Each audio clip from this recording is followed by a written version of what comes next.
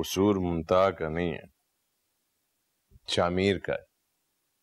वो क्यों ले गया वहाँ रूही के पास उसे? कुछ अकल करनी चाहिए थी।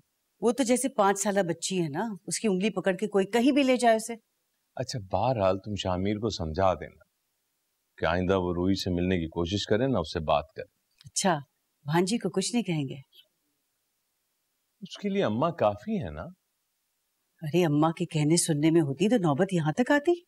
अच्छा भाई प्लीज़ खुदा के लिए इस किस्से को खत्म कर। ठीक है। मैंने भी सोच लिया कि मैं शामिर के पाँव में बेड़ियाँ डाल दूँगी। ऐसी जिससे उसका दिमाग ऐसी उल्टी सीधी चीज़ों में जाए ना। बेड़ियाँ डाल कैसी बेड़ियाँ? उरूसा कैसी रहेगी शामिर के लिए? उरूसा अपनी उरूसा घर की बच्ची है आँखों के सामने पली बड़ी है। बल्कि मैं तो हैरान हूँ कि मेरा दिमाग पहले क्यों नहीं गया उसकी तरफ़? भारत मगर शामिर से पूछ लेना तुम्हें पता है वो किसी का लाया हुआ रुमाल भी पसंद नहीं करता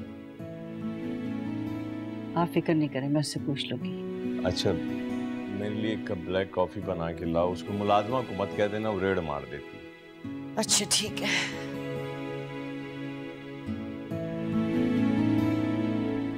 ममता बस कर दो। आपके हाथ जोड़कर माफ़ी मांगू तुमसे? मैं आपको कितनी दफ़ा बताऊँ मुझे आपसे नहीं बात करनी अच्छा ये बता दो तुम्हारी नाराज़गी कैसे दूर होगी? मुझे जब आपसे बात करनी होगी मैं खुद कर लूँगी। और वैसे भी मुझे आदत नहीं है कि कोई मेरे नास नखरे उठाए। क्यों ऐसी बातें करके अपना और दूसरों का दिल जलाती हो तुम? अच्छा मेरे अलावा इस घर में किसी और का भी दिल चलता है? हाँ। मेरा। अगर आपको ऐसी प्रॉब्लम्स है तो प्लीज़ जाके फिजिशियन को दिखाएँ मानी जान मेरी जान ले लेंगे गोली मार देंगे मुझे। कोई कुछ नहीं कहेगा। मैं तुम्हारे साथ। ऐसे बातें नहीं करनी चाहिए जो निभाए ना जा सके।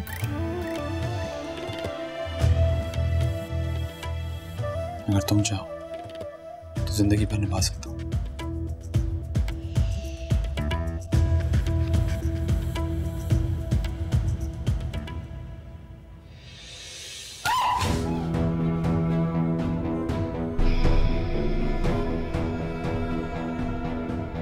अम्मी ये क्या किया आपने? इससे इसकी औकात याद दिलाती है।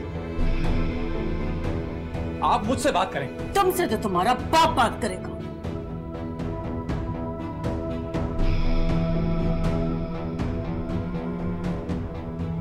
मंदा मेरी बात सुनो। मंदा। पर उसके पीछे गए